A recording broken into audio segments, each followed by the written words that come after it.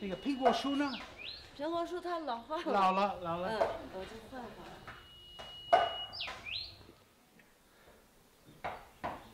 可我师傅高兴吗？对，很高兴呀，嗯也我也，呃，就是我也去过另外一些茅棚，啊我觉得很，我很喜欢这个茅棚，因为是很整齐的，对，别的有时候比较破烂的，别的别的茅棚，可是，呃，你师傅就是很讲究，哎，我师他傅，他做的很很就是整齐啊。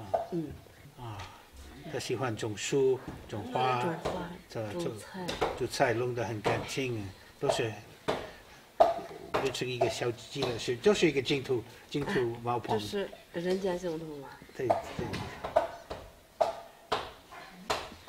我师傅人家这个呃性格就是那样，啊。嗯，他说做什么都是在修行，啊，对，他很会修行，嗯，他很快乐，不管是怎么条件的，就是可以看得出来他他很快乐。很快乐。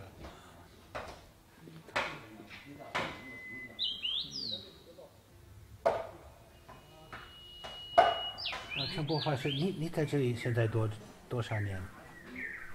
三十五年，哦啊，你 跟老师傅一样，啊，跟老师。哇，很好，我三十五年过得很快。就是嘛，我那时候还年龄不大，对，可是我对我来第一来了第一次就是二十五年以前，对，那个时候你已经在这里十年。啊，我在这里十年了。呃，我有另外一个问题，呃，呃，陈伯华是你来你，我还是记得你，你说你第一次来的时候，你是跟同学爬山，哦，我跟那个居士们就是，也跟我同龄的啊小孩，我们爬山爬这里，啊，那他们有，他们呃，他们的人会有时候来看你吗？他们来看，他们还记得，还还嗯，还还记得跟，我，嗯，哦，那很好，很好的，嗯，他们还来看我，啊，我就是一直在这里，嗯，没离开过我师傅。啊，他很好。那明天呃，我们走了以以以以前，我我一定要去他的设立他，好的，好的，上香。哎，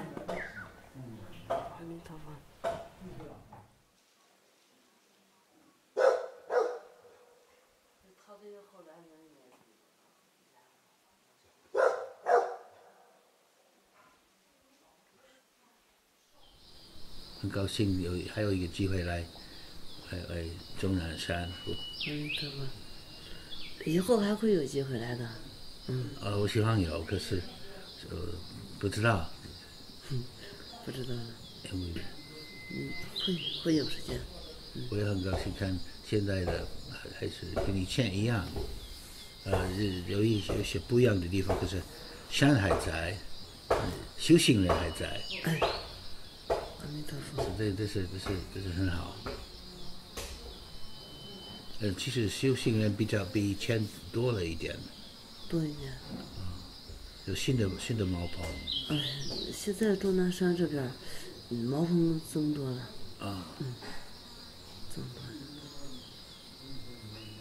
因为我刚来的时候，大部分的人还以为修行的宗宗教都是迷信，或是因为文化革命的时候，呃，那叫那叫怕修修行就是宗教，对，不是一个好事情。就是现在社会改变了，呃，开开发了的，对就大家开始对对对修行有兴趣，所以我很高兴，那个山是是这么大，还有地方再盖一个茅棚。有，嗯。那十年文革对呃这个嗯佛教是一个很大的打击。嗯，文革过了以后，佛法慢慢的兴盛了，嗯，出家人也陆续的都呃出家修行，用功办道。嗯嗯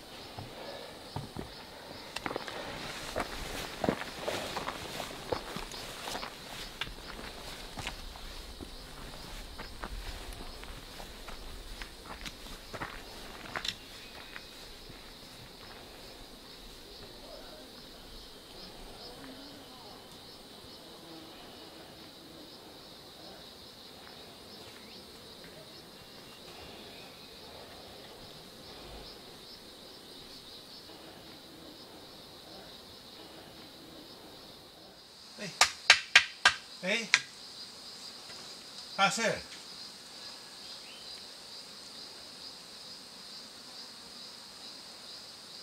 大师在吧？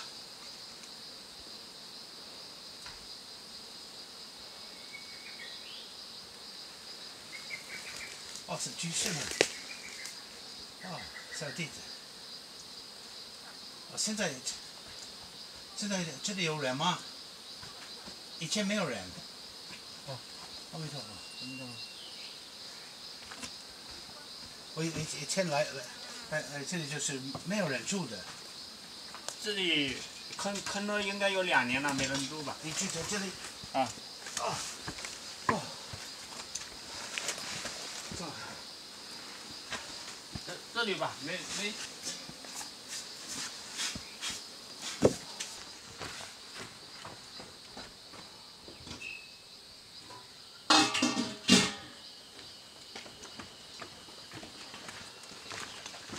作为中国人，其实也也很惭愧的。这正南山这个地方几十年，作为中国自己人还不知道有这么一个地方，还是靠你那本书才这样才传播开来，是吧？现在最担心的一个问题就是他们搞开发，六六点啊，就是比如把我们这些。住山的这些茅棚啊，拆掉，或者说把这些住商呢赶走，他们盖统一的房子，这样，主要是这个问题现在比较严重。这种文化遗产的话，哪怕是在全世界来说，应该也不多了。我知道，可是我不知道现在的情况怎么样，所以我特别来这里，呃，看一看，还有还有还有没有跟以前的样子那么好。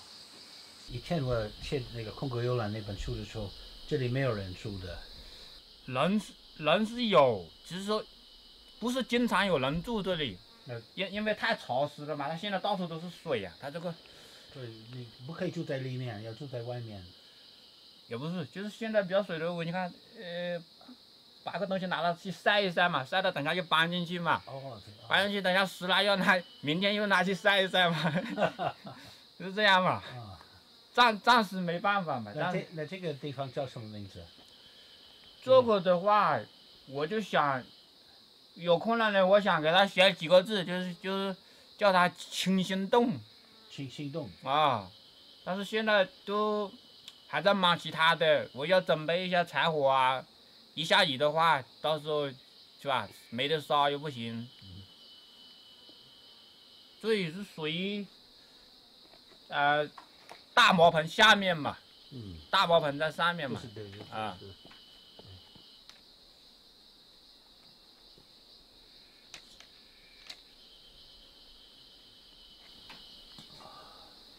那你的南方的那个亲戚朋友会会来看你吗？这个就怎么说呢？除在外面修行呐，就尽量的不不要不要那些，不要那要，就是要放得下嘛，是吧？对，放下。按照佛教的那种，就是也一定要放得下，心要安静。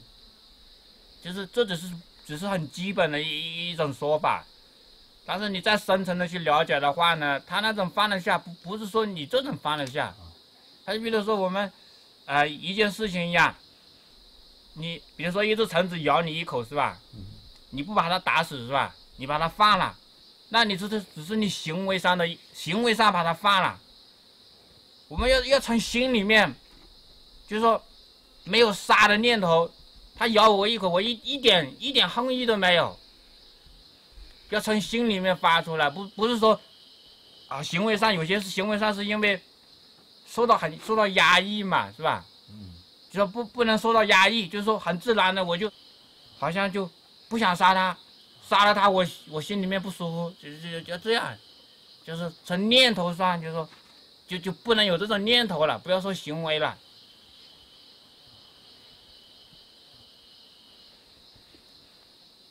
不过这些你看，你比比我更了解，我我虽然说在很久已经是听听说过你对佛教的了解理解呢，已经是远远远远超过我们国内的很多修行很久的人了。就是这个。呃，修修行佛教不是了解的事情，是是是要自己实验，自己修自己修行，自己修啊，行。你一定要是在了解的同时要要自修。有很多人会了解佛法，他们去什么学校是看什么书，可是不一定是修行佛佛教。如果我也不知道我自己说的对不对，很多东西不在于你你了解了有多少，关键你要要行动，对，对吧？嗯，对，我同意了。我的意思也是也是这个样子。当然，你了解佛法也是第一步啊啊把你呃到那个门进进进门，啊，就是进门以后，就是都是靠你自己的自己的心要，就是要放下的东西都是你自己要放下，不是别人，不是书里面的东西可以可以教你怎么放下，你要碰到东西，然后学放下。这是什么菜？这是小白菜，小白菜，呃，要冻多久？呃是，是是从下种的话到吃的话，最起码要一一个多月到两个月这样。有两个月啊。嗯，啊只有这个一个小小的地方，没有有没有别的？呃这样子在后面也准备后后面准备去，它这个因为这个山势的话不不是很容易的，它又又是石头又不平，不不太容易搞那个平地啊。啊，对修行的地方差不多都是这个样子。啊啊！如果有这也不用太多嘛，我们也吃的很少的，就是也吃不了多少。一个月的生活费的话呢，就是基本上也就是一一切加一切把它包在一起的话，也就是五六十块钱就够了一个月啊。就是吃啊那些油盐啊米啊，或者说还有一点小小的其他的那些生活，比如说纸巾啊之类的嘛，是吧？很很少的，这个用用不了多少钱。啊，就是你你一个礼呃是不是一呃一个礼拜下次下去一次，或是几是多少？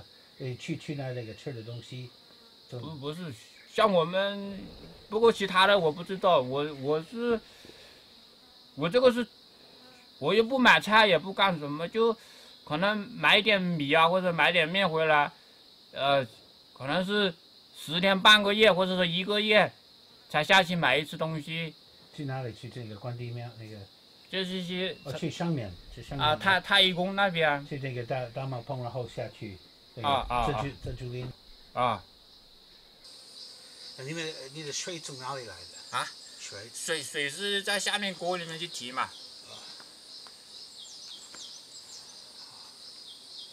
木材都是到处都可以可以可以拿，啊、不过我们也尽量是捡一些干的嘛，就是是干的。哎又不浪费，是吧？这样又好，自己又省力，又不不愿意这样整。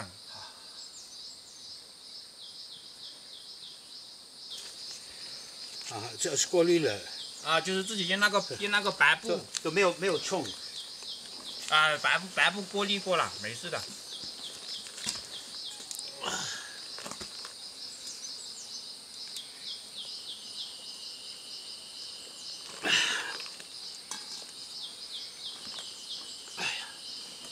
阿弥陀佛。阿弥陀佛。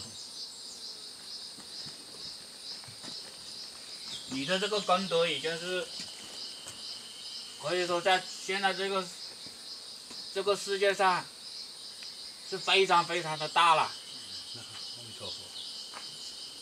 就是天上的功德，手看无量，无量的。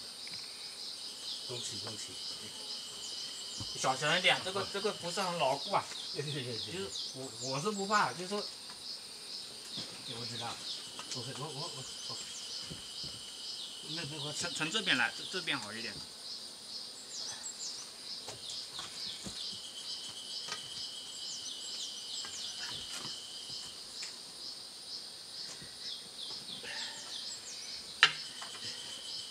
这里就好了。这是第一步，第我是说，因为每天太多游客从这里过，哦对，就是说让他难走一点。如果你真的能走上的人，我就，是吧？我也接受。你看到这个路你不走了，我我也自己清静一点。我这是很好的方法。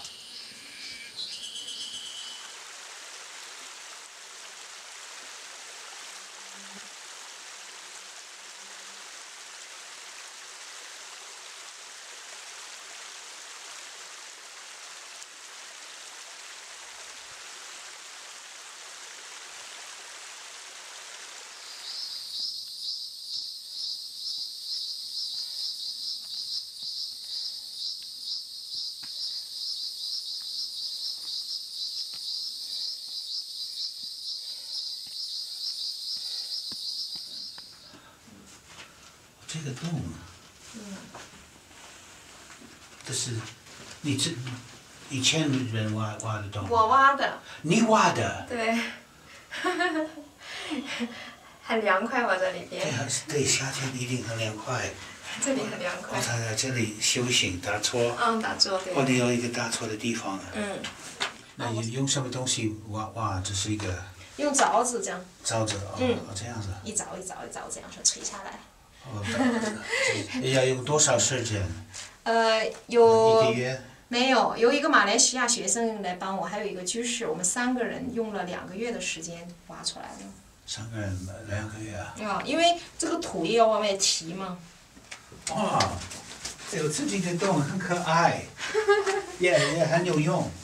特别夏天的时候，嗯。呃，你要打坐在在这里很很舒服。哦，但是你太凉了，如果身体的热量不足的话，你在这样的地方还会受寒，因为当你很静的时候，毛孔都是往内收的嘛。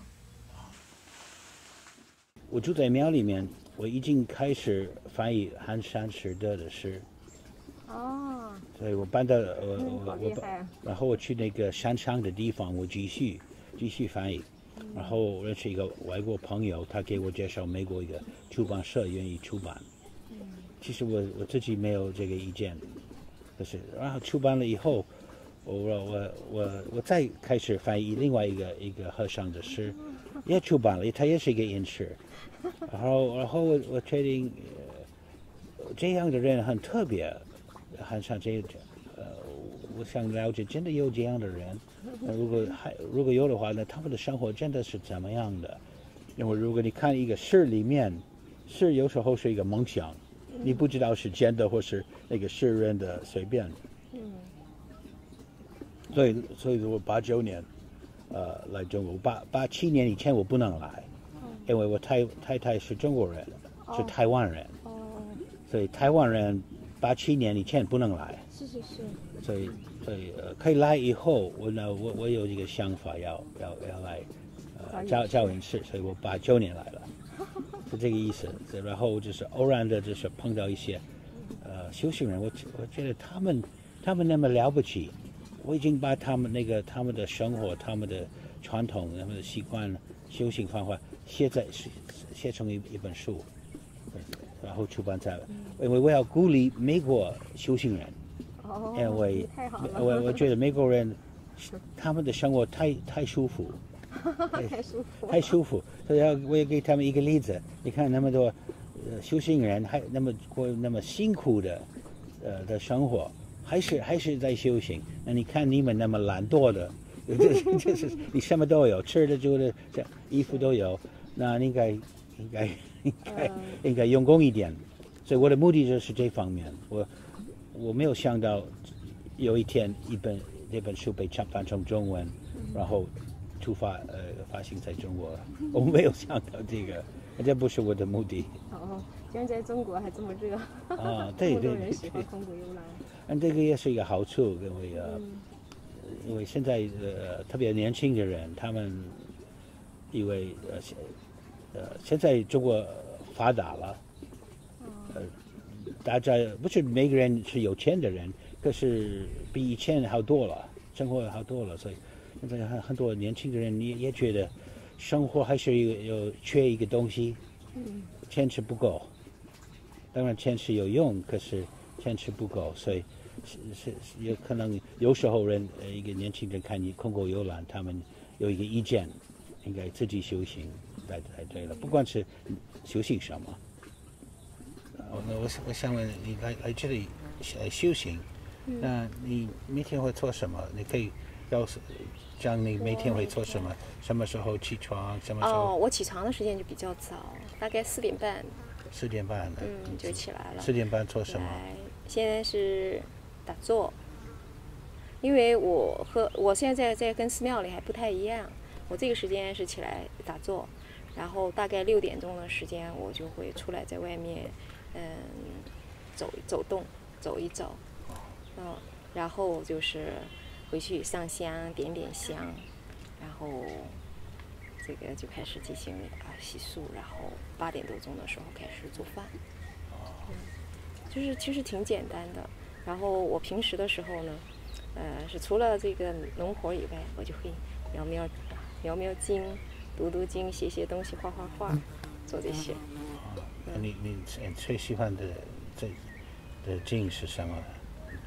每每天读的经或是念哦，嗯、道家的《清净经》嘛，清净经。嗯，道德呃《道德经》《清净经》，我主要是现在是念《清净经》，清净经。嗯，它可以背下来，其实跟《心经》差不多，也就是那么二二百来个字，哦，嗯，也很短，也不长，那你念的时候用口，或是只用用用心？用心念用用心。了。嗯，因为嗯、道家的功法里面，它是给你一个东西，就是要养气。要养气的时候，就是不要说话哦，啊，不说不说，它就在养气，内养嘛。而道家基本上都是用内养功夫，嗯进行内养。所以你呃八点吃饭以后，也、嗯也也会念经、呃嗯，看经，也会。到几点？嗯，我晚上一般是十一点钟，然后那白天白白天不睡觉，白天不睡觉，嗯没嗯，有什么午睡午觉。不用睡，因为很少感觉累嘛，也不累。那你们在你在在在在外面，呃，在那个你你是种菜，在这里也是。哦，我我自我其实我自己的生活真的很简单的，有的时候，比如说我不饿的时候，我就可以不吃饭嘛。哦，嗯，不饿的时候就不吃嘛，这就比较符合你自然。他要告诉你，其实身体会告诉你该做什么了。嗯，你饿的时候再吃嘛，你不饿的时候你吃的不是不舒服。那你饿的时候会吃什么？嗯，就煮一点青菜啊，煮一点稀饭啊，就可以啊。嗯对，或者是下一点面啊。啊、那这个面这个饭要从哪里来？哪里哪里哪里来？饭从哪里来啊？呃，有鸡翅给可以可以给供养一点就够了。我每个月我吃的粮食很少，大概连十斤都不到。哦，那么少。嗯，就是我常常很多时候是吃这些蔬菜啊，蔬菜，但是蔬菜我吃的也不多，我我一直嗯这个这个食量不是很大。那、呃、冬天呢？冬天就是嗯提前买一点土豆，买一点红薯啊，啊，买一点白菜啊，这些储储存起来就好了。哦，秋天的时候买就刚好是下来，这些东西都是冬天来储都可以存。放。嗯那你你住的地方不会太太潮湿？嗯，吃姜啊，住在山里的人，就是一般的住在终南山的人，都是用姜来调整这个寒湿。啊、姜和花椒这些，啊，它这些都是比较燥的，而且姜是百药之王啊。平时你的保健可以用姜来调整你自己的身体。这是当中药中药这个是中药，是是用哪一部分？嗯，就是呃这个季节我们可以用这个叶子就可以用了，哦，嗯，这个叶子可以呃泡茶也可以，呃也可以吃，它是一也是一种香料。嗯你啊，味道还好吧？薄荷。嗯，你觉得是薄荷的味道？不是，它就是藿香，藿香就是这个味道，这样的味，对味道跟可是吃的有薄荷，是是薄荷。对味道，它有清凉解暑吗，嗯，嗯，解暑的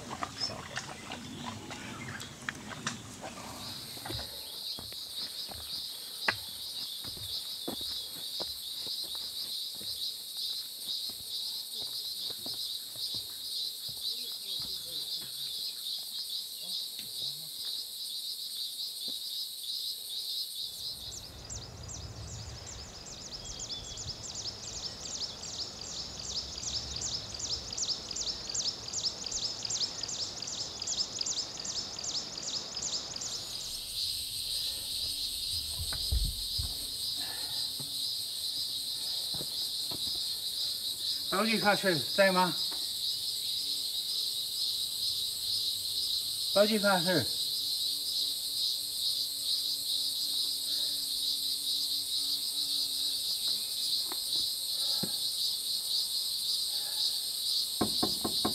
喂。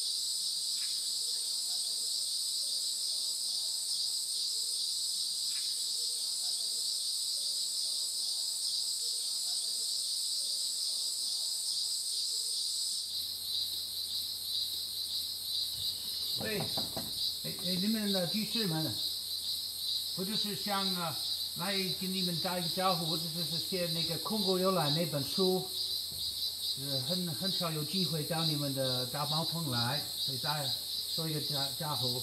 你们不开门没有关系，我了解，好好好好修行啊，算了，再见啊。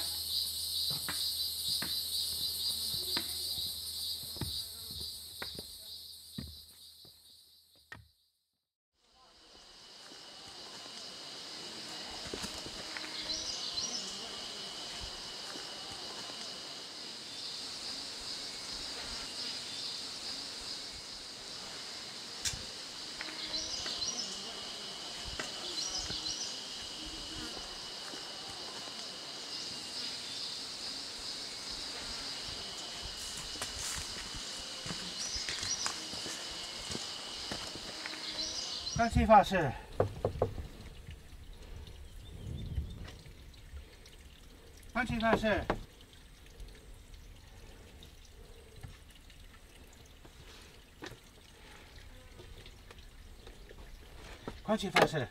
啊，阿弥陀佛，阿弥陀佛，这啊是王文俊的朋友。啊，美国朋友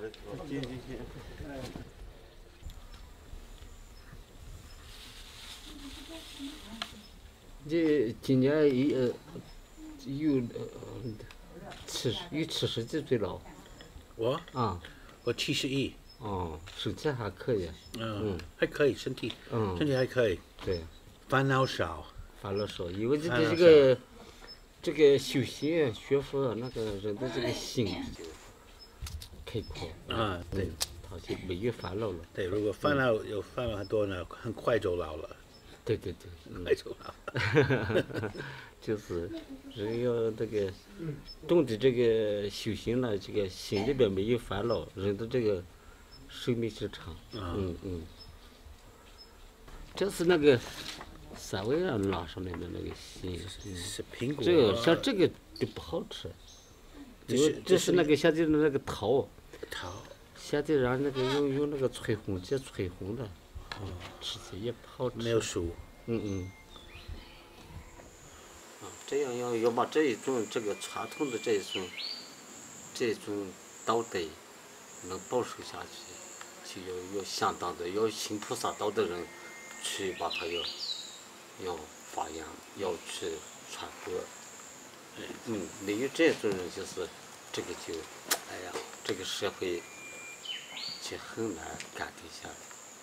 啊，因为社会的这个人的下去的这个欲望，欲望这个贪心也比较重嘛，嗯，所以这个没有这个道德的教教化，深入的这个教化，这个社会就很乱，嗯，人心就很很不好。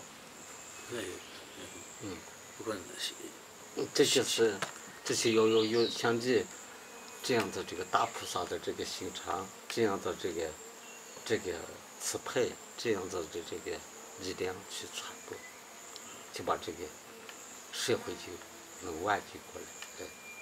嗯。可能全国各地这个佛教徒都知道这个空谷雨那个这一东西，呃，影响很大的，嗯，这就是就是一个老菩萨、新菩萨都的一个只有一个，嗯，这这就写的很好，嗯。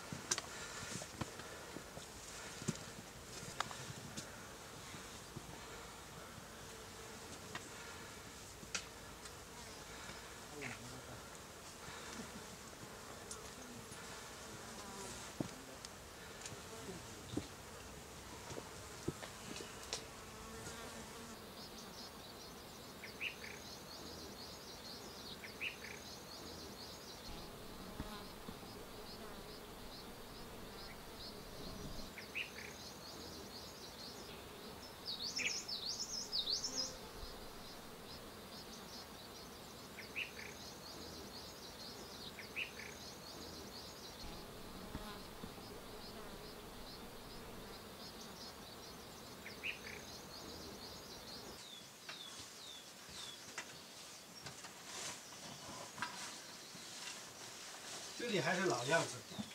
啊，对，看得出来。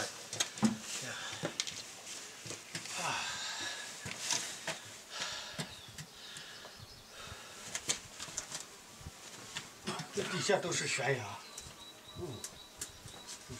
你要看这个悬崖就，就在上面的可以看得到。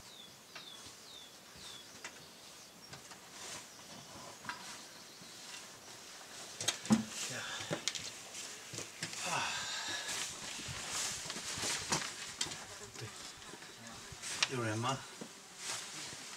好像没人。在终南山呢，有很多的天然的石洞，在甲午台就有一个喇嘛洞啊。这个喇嘛洞呢，是在唐贞观年间，已经就有出家人在这里修行啊。最有名的呢，就是民国期间的一个叫叶开的一个老和尚，就曾经在这里住过三年啊。那么虚云老和尚、高鹤年居士呢，也曾经在喇嘛洞。这个护国寺这个地方呢打过禅期。甲午台这是应该是二十年后，二十年没有来，二十年没来。啊那个时候没有啊，那是能能人法师，嗯呃，没有圆寂。对对对，他能人法师好像也是九五年圆寂的，大约是九五年周问啊，我这记不太清楚，应该是九五年这个肉身是肉身是零九年，零九年是，因为他圆寂也是，好像也是这个，就是刚才底下那个吃饭的那老乡也知道，就是说几天不见人了。然后后来他们就在这个悬崖底下找到他的尸体了。后来大家就把他，就就就，就他盘好腿就在这边供奉他。我看里面的这个这个里面还有一块石碑，上面记载的就是，这个这个这个地方也是能人师为他自己修的。那后来是我在佛教协会工作嘛，那后来这个能人师的在家的这个儿子，他呢这个找到我，他找到我，他说每一年来祭祀他的母亲，这个挺麻烦的，他也也还有一个心愿，就是说他母亲这样放着，好像放到这个地方，这里的僧人也觉得不太合适，就意思就是说能不能这个请把他母亲请出来，呃，重新放到塔里面，啊，后来我我说那就跟周围这个师傅商量。后来我们刚才上来那一块不是有一个塔，嗯，啊，那个塔旁边还有一个小塔，盖了一半，就是为能人法师准备的。哦，就被，可是没但是这个也是很不可思议，他他的儿子呢，在这个我们要开塔之前呢，做了一个梦，他梦见他母亲没有这个没有身体没有腐烂，他还告诉我，他说如果这个开了以后，这个身体还保存完好怎么办？我当时说还不可能，这这这，当年是那么草率的安放的，又不是像那个九华山那些肉身，人家是经过提前预知时这这个处理过的。嗯，如果是这样的话，那我觉得那就是很稀有的了。啊，后来我们就就就请这个法师过来，这这里的住持法师就把这个门打开了，打开一看，哎呦，真的他是肉身。当时呢，这个出家师傅做完佛事以后呢，工人就把这个门就打开了。当时看到的情形呢，就是他头上的帽子，包括他的衣服呢，都还完好。我们在跟他整理这个衣服的时候，发现呢就是周围的那个那些灰呀、那些那些土啊，什么东西特别的湿，但是那个明显的那个肌肉，就是用手一摁呢，还是有弹性的。所以当时呢，很多人都震撼，很多人很多人都惊呆了。能人师的这个法身的周围呢，还放了他的一些遗物，什么眼镜盒啊、钵呀，包括他的念珠啊，都在这个旁边放着呢。啊，后来呢，我们请这个九华山的一个装金的师傅，才把这个肉身呢重新贴金以后，啊，供奉到这里。现在呢，用一个玻璃罩子呢，把它罩起来。那么这个位置，就是能人师现在坐的这个位置呢，就是他，呃，十三年前把他安葬到这儿以后的位置，根本就没有动。这个以前的看到的肉身呢，都是传说下来的。这尊肉身是我等于是亲眼目睹打开以后的原始状态的，啊，所以上面写的是“能转物则通如来”。当然，这个是《楞严经》里面的话，“心能转物则通如来”。这是从楞严经出来的。啊，《楞严经》里面的话，“心能转物则通如来，忍无忍即是空亡”。啊，这个这个是意思就是能忍法师的名字的一个啊，很很长头。很有味道。啊，这也是我们这个这么多年来终南山在近代算是唯一的一尊保存现在的。在所有的终南山只有这一个地方。啊，所有终南山就是现在知道的，就只有这一尊。这里面有有这个呃老法师生前的照片。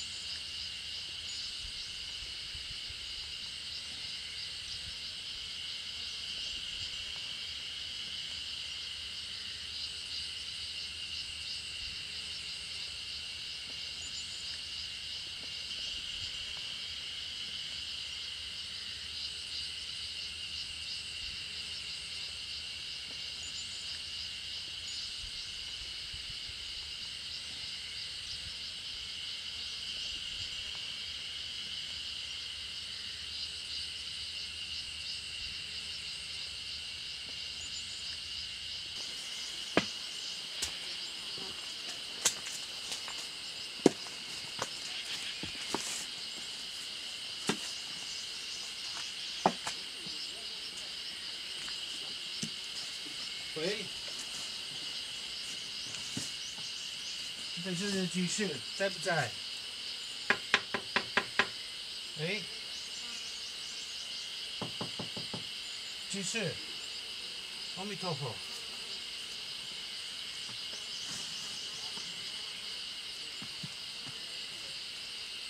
喂。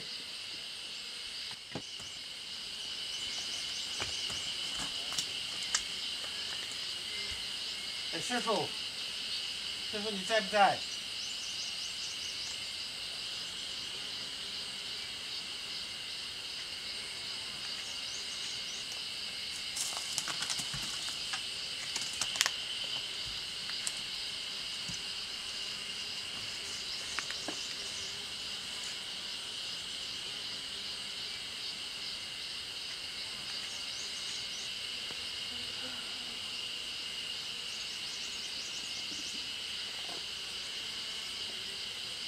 ？But you know the the door is not locked from the outside.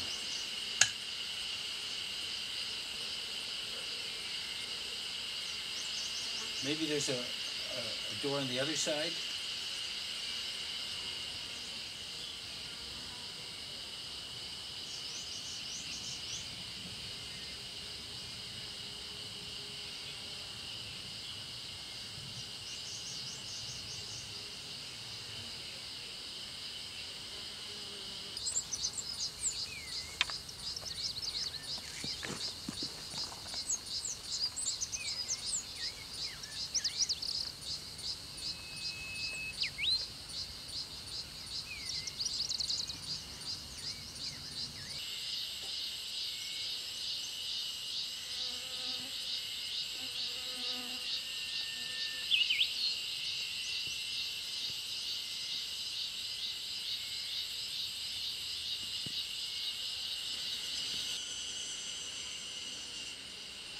但是假如我没有看过空谷幽兰的话，我不会和你聊天。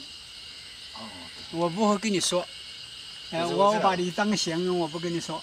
但是你我看过一空谷幽兰，他一说我就知道了，我知道和你说，那是很很很有意义的。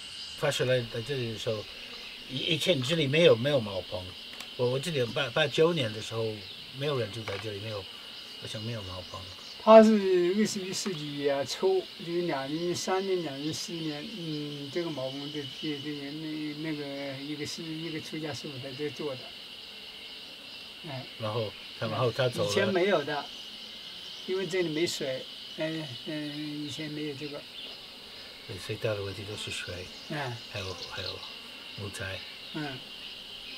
你这一次，你这一次还是从美国来的呀？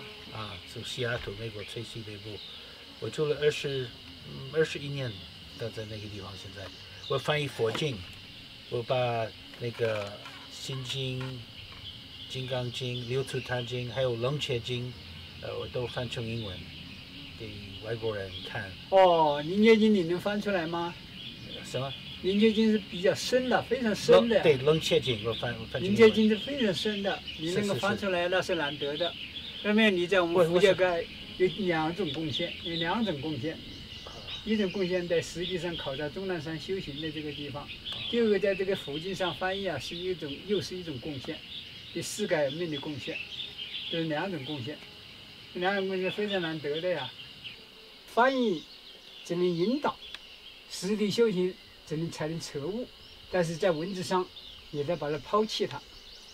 啊，文字是个方便，是的啊，对，嗯，就是开始的时候，呃，是一个给人家一个很好的方便，嗯，因为人家都是靠语言，嗯。他，们习惯了。但是语言文字它只是流通形式。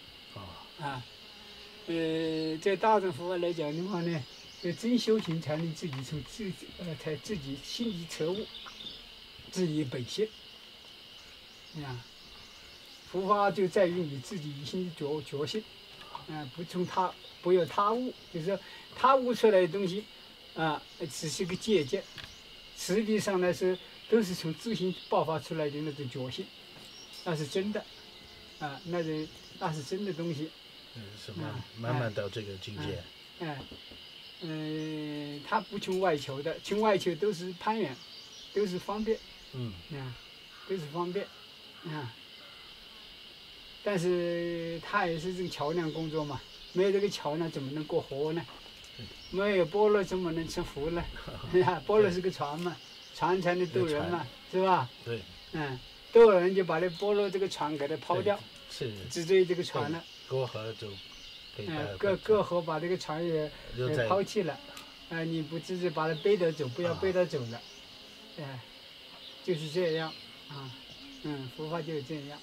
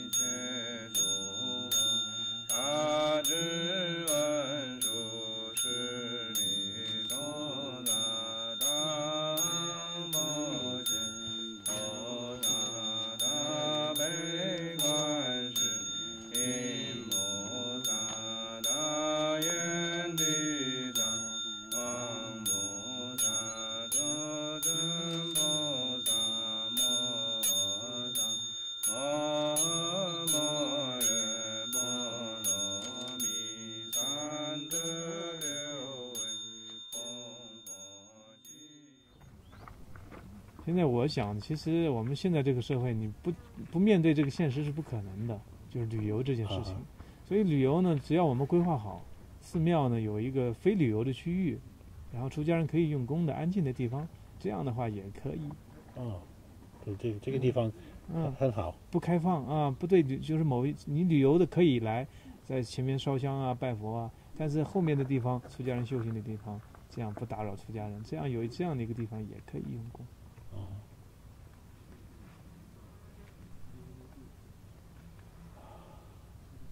啊，所以山里的寺庙，我有我们的优势，有我们的这个得天独厚的地方，然后我们不用太担心旅游的问题，因为我我们这个山上来很不容易，对，五个小时，嗯哼，很不容易的对。所以即使有了，让他们来看一看，看看佛菩萨，拜一拜佛，也是不是一个坏事。嗯，主要是出家人修行的地方，他们不打扰就可以了。对，其实会给他们一个很好的影响。嗯。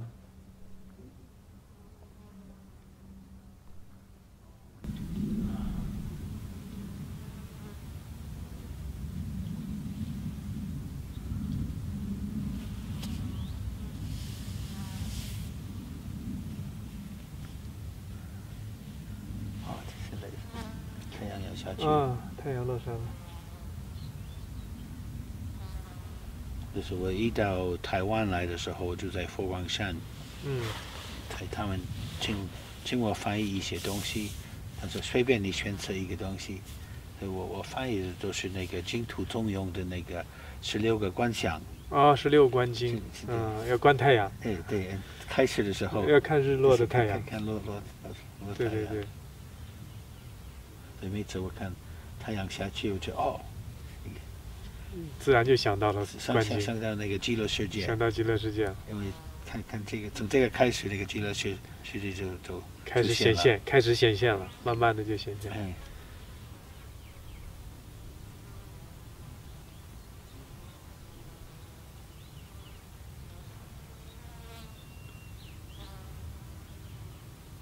为我们住山的生活，就感觉像你们的那种电影的慢镜头一样，啊，他很慢，做事情也好，他的心也好，他的包括说话的这个量都会比较少，没有太多的事情和太多的语言说，有很多的佛法要说，没有那么多事儿。如果真的是这样的话，可能他这就住不住了。那话太多的话，我在这我在这里已经不是像那种很很标准的住山的那个状态，因为很标准的住茅棚山洞那个状态，就真的是没有太多话，你让他说他也说不出来的。啊，我这里呢偶尔还会来人，所以说有的时候还会说一些话。多说几句，嗯，可以帮会多说几句，呃也多说几句。现在，嗯、帮助众生真的是，我觉得说太多没有什么真实的用，因为很多时候他们虽然听得明白，但是做起来还是不行。所以我觉得真的要想帮助众生，得带着他们用功，带着他们一起念佛，一起带着他们打坐，带着他们念经。我觉得这个好，这个这个方法比给他们讲讲道理还要好一些。因为前些年我也做过这样的事情，给居士们讲了很多，然后他们听的也很好，但是真的有事情发生的时候，佛法的道理他们用不上。所以我觉得真的是讲太多了也没有什么意义，有的时候少讲一些，点一下就好了。嗯说一些，反而有的时候我觉得说的少一点，反而人家会印象更深刻一些，然后会得到的受用会更好一点。说多了，反而人家会觉得，嗯，这个太多东西装在这里面，就不知道哪一些是更重要的东西需要去抓住。就是外头这些大和尚，看似商业化重的这些大和尚，我们不能觉得好像他们商业化，就好像他们就比我们祖山的师傅好像差，其实不是那样的。他们真的是，他们那些师傅们真是发心菩萨，为了道场把自己是说，就跟虚云老和尚说的，抛却己事，专为人忧啊。那没办法了，他要发菩提心嘛。但是真的有的机缘，有一些因缘和合，他们也是很想出山的。都是在这个时代，这个年轻的这些师傅们，肯发心、肯出家、肯用功，好为三宝做事的，都是道心很好的。因为什么？这个怎么说呢？我们这个时代出家人没福报，不像古代，外界环境好，这个社会风气呀、都是崇尚道德、尊重道德，然后各方面都是助缘。他那个时候即使不在山里头，都能够保持一个很好的状态用功。现在没有办法了，现在这个都被商业化也好啊，各方面经济化也好，都他们也没有办法。你要不然他们啊都把这个撂挑子了都出去山里头了，那些道场怎么办？该在做佛法事业的时候谁去做？所以我们这些人其实也很惭愧，很多担子大的担子担不起来，这样在山里头啊就是图个清净。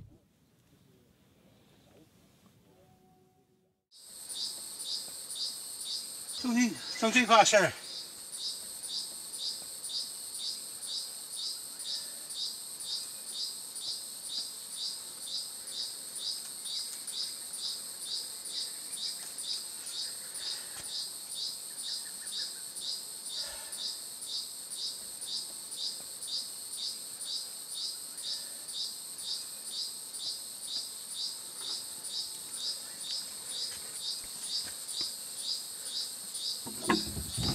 我中间这法哎呦事儿，，你头发，正好。进来进来进来。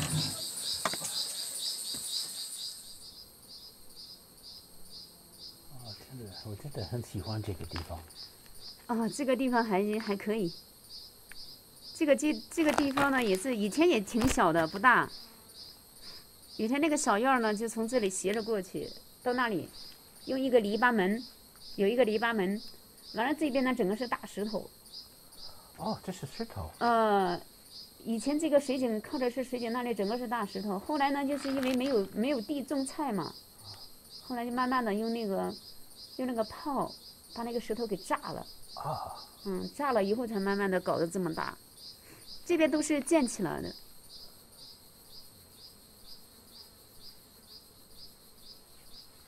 现现现在这你它是因为现在的条件是比较哎呀，现在的条件呢，可以说跟我们当初刚上山的时候，那那简直是天壤之别，那没办法比。你看以前的话，就是就是你不管怎么样，你就是什么都要靠自己去买啊，你去那个啥的。你看现在，基本上吃的什么的都几乎都不愁，而且有时候就感觉有时候，呃，都吃不了。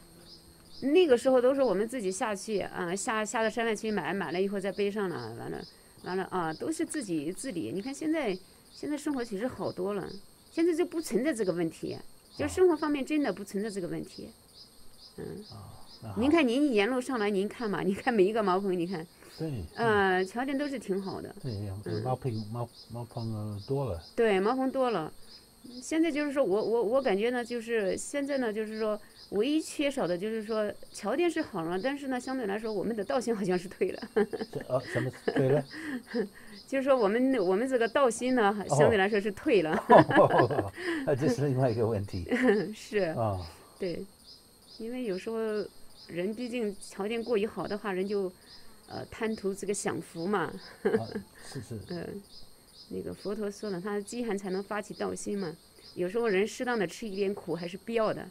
啊，对，有时候也也有时候在美国，有一些人要要修佛，可是嗯他们要很快成佛。啊，那不可能很很。快，哎，嗯我修行两三年，这还没有成佛不。可能的，那是速成法。对对对，就是因为看他们他们看书，他们觉得佛教很有道理，嗯他们很钦佩那个佛教的，所以他们自己要修。嗯呃可是他们都是很很多是这样子，嗯呃，然后过了一两三年，他们就放放弃了，嗯做做别的。呃，是啊这个这个这个，起码呢，在这这一块呢，就是说我们要有一个呃有一个长远心，啊呃，要有一个长远心，持之以恒的心才可以。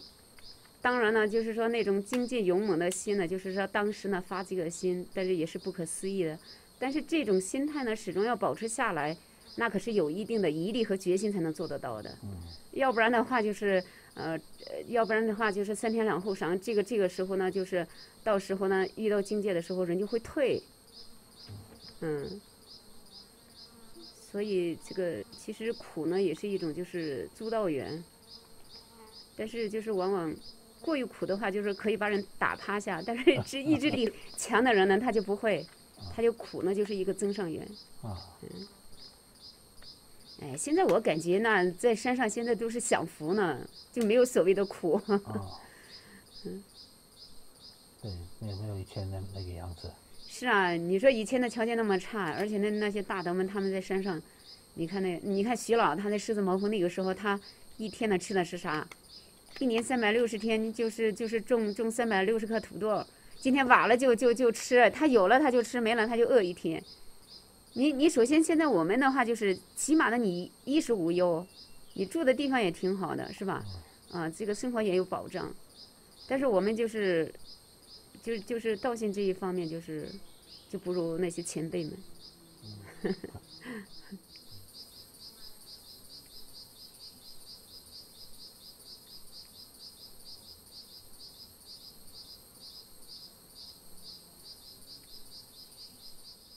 啊，发射的呃是是修是是是呃是打坐，是诵经，来来修行。哦，有时候也打打坐，有时候也看看经。嗯。那那那那那一头呃那那个经？呃，看您说我看经啊？嗯。哦，看经我基本上都是看《楞严经》比较多一点。楞严经。嗯，看的比较多一点，嗯。在在我我以前在美国在王佛城教书，他们呢。哦，那个宣化上人。啊，对。呃，他老人家呢，就是提倡的就是《楞严经》嘛。对他都是。对对对，他教诫他的弟子都是那样的。啊。嗯嗯嗯。还是这样子。嗯，是是是，他那个挺好的那里，而且他老人家给那个《楞严经》做了一个白话解。嗯哼，也有一个英文的，他的他们的弟子要翻成英文。哦，又翻成英文了。也是翻成英文的。哦，那那这挺好的，嗯。嗯，他那个翻译的早。那个好像在八十年代就就就有他的这个译本。对。嗯。对，很早。是我最初我最初看的时候也是看他老人家那个那个白话简，这么厚一本。是是是。嗯。讲的不错，他那个比较就是浅显易懂。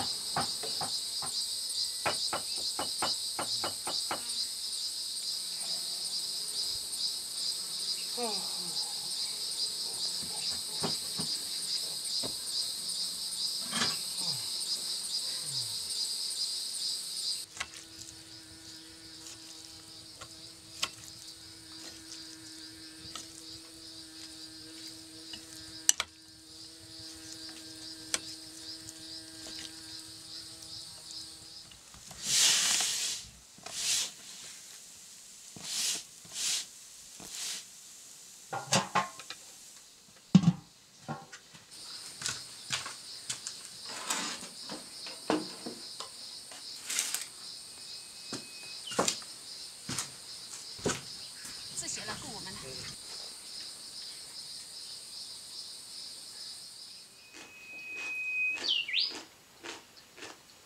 这么高的山人啊。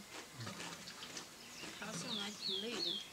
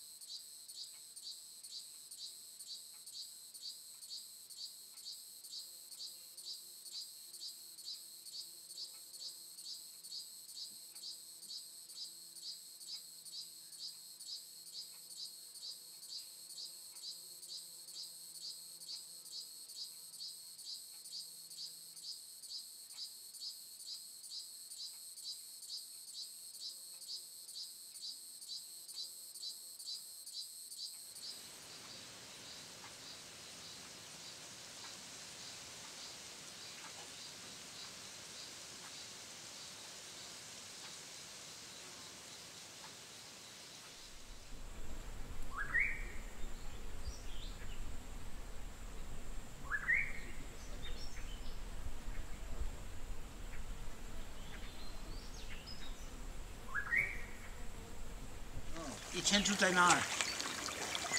西安这个八仙庵。西安东边渭南。啊，渭南的。哦。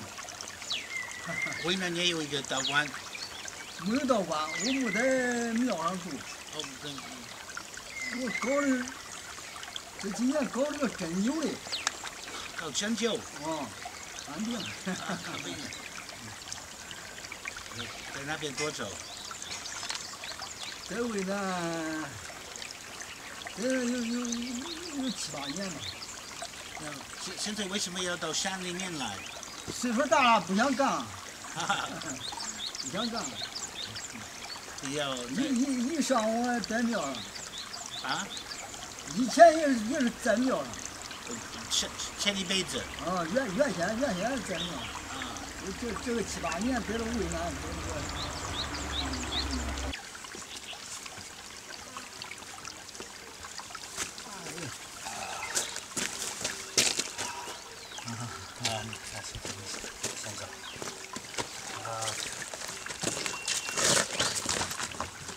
有没有走过这条路？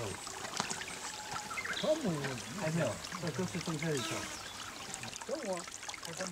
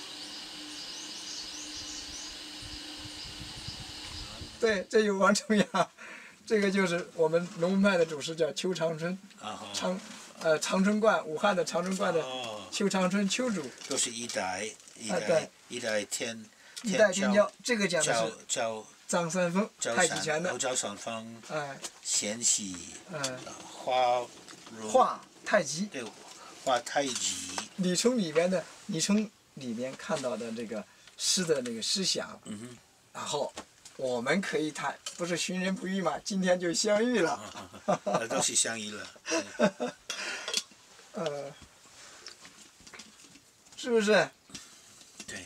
所以说，我就把这首、这首、这是呃这首词写下来，然后嗯，我们来一块儿用心去，哎，来去交流一个寻人不遇。以后你还可以写一个寻人。相遇，好，诗人相遇，下一本下一本下一本书，就是嘛，这挺好的，啊，回头这个就带给你，就送给你了，哦，啊，送给你，哦，啊，这就送给你了，好，阿兰天尊，好，哦，这辈子，哦，好啊，好棒。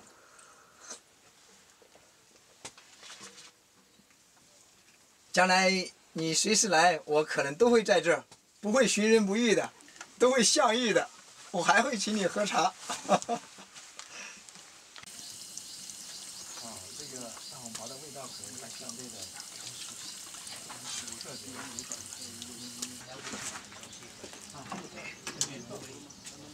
哈哈，我也不会忘掉你的。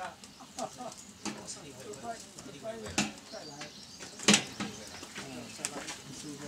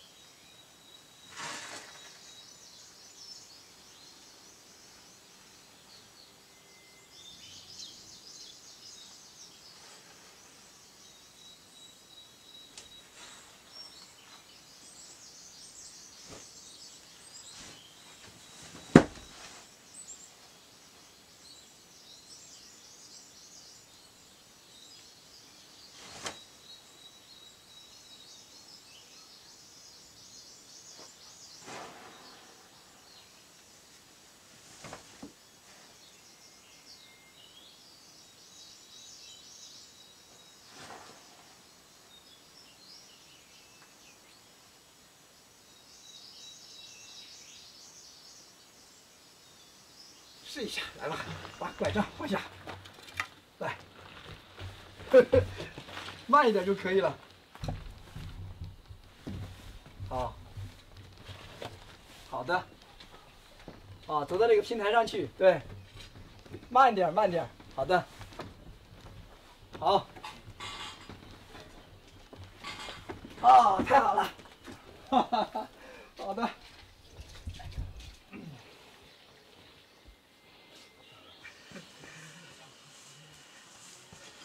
这是我刚刚盖的一个小房子。好的，我们这里就就把它叫做保温房了。哈哈，保温房啊。对，它就相对冬天这里很冷，我我这个东西还留在这里呢，这一块空的，我把冬天就把它放上去，重新堵起来。对。啊，它就不会。这这个板就是那个板子呢。这个很好。可以啊，挺好的。但是很厚很厚，我以前没有用过那么厚的。是吧？我在我们在在差不多一半用差不多一半在在在那个，这是外面，这是里面，哦嗯中间放差不多。啊，挺好，起到一个保温的一个保温的。啊，挺好。